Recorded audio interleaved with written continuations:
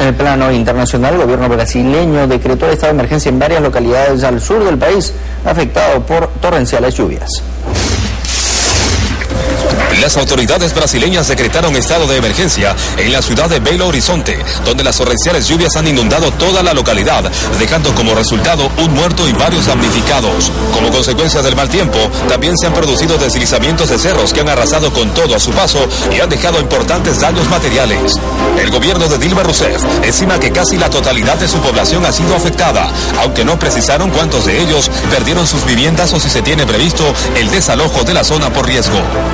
Asimismo, anunció que tomarán acciones inmediatas para descartar brotes de enfermedades como el dengue y en la que los primeros perjudicados son los niños.